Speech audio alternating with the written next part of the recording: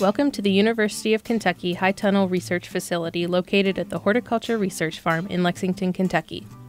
We'd like to give you a brief tour of our site to see our structures, and then we will discuss our growing practices. These are what we call our stationary tunnels. They were built in 2011 and are laid out in an east west orientation. We call them stationary to differentiate from the movable tunnels you see here. Throughout the season, we can move the protective structure from one plot to the next, which allows for greater flexibility in crop rotation as well as more opportunity to incorporate cover cropping into our system. Another reason we are experimenting with movable tunnels is to avoid disease and insect pressure as well as prevent soil salinity accumulation. All of our tunnels are Gothic style and measure 30 feet wide by 72 feet long. This structure contains the maximum square footage allotted for in the NRCS Seasonal High Tunnel Initiative. This is the Environmental Quality Incentive Program, or EQIP. Our structures are covered in two layers of 6 mil 4 year plastic. Let's step inside for a little more detail. The plastic on top of our tunnel is double layered with an inflation fan filling the space between layers with air. The fan's electricity is the only energy these tunnels directly use. The doors and end walls do not come with the standard kit. We have 8 foot by 8 foot sliding doors covered in polycarbonate sheeting. The 8 by 8 doors slide on standard barn or livestock door hardware. The tracks are available from agricultural supply companies. These end walls are framed in with 2x4s, and instead of using furring strips to keep the plastic tight, we have reused old drip tape. All other plastic is attached using wiggle wire. Now, let's look at how and why we grow what we do.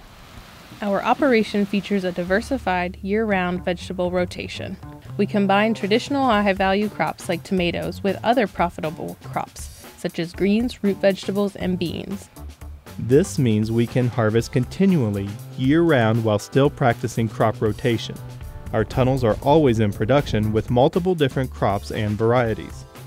You're not to be growing tomatoes in December, but you can keep some good looking plants alive and and uh, get some good produce out when most people are stay staying indoors.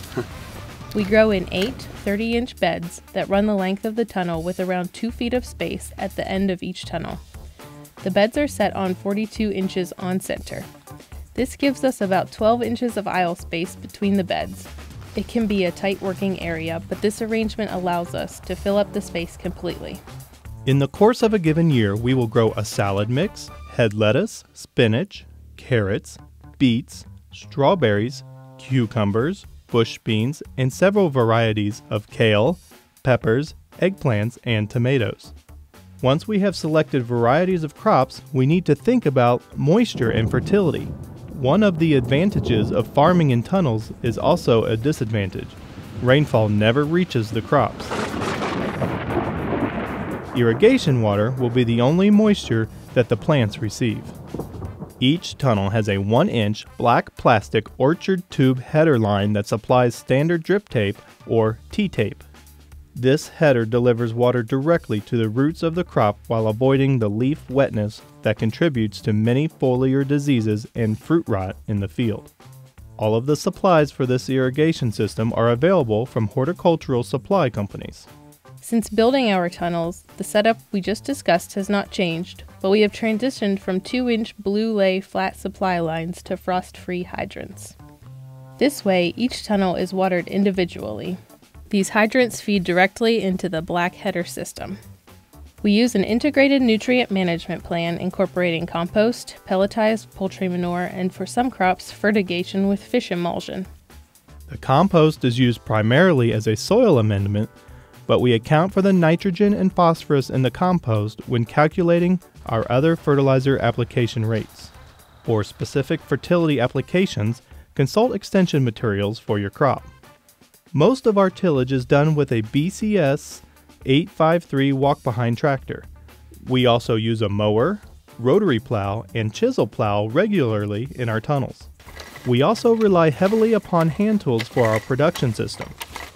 You'll sometimes hear people call this a scuffle hoe because it scuffles along the ground. But uh, it's great for knocking down small weeds and just uprooting them without hitting plant you're trying to weed around. Growing in these structures can be adapted to a spectrum of mechanization, but each aspect of the production systems must be considered when mechanizing operations. For example, increasing door sizes to allow for larger equipment access, considering your bed sizes, and enterprise diversity to name a few. For more details on our construction and planting dates, find the link to our website in the description of this video. To visit the University of Kentucky High Tunnel Research Facility, contact your county extension agent to plan a tour.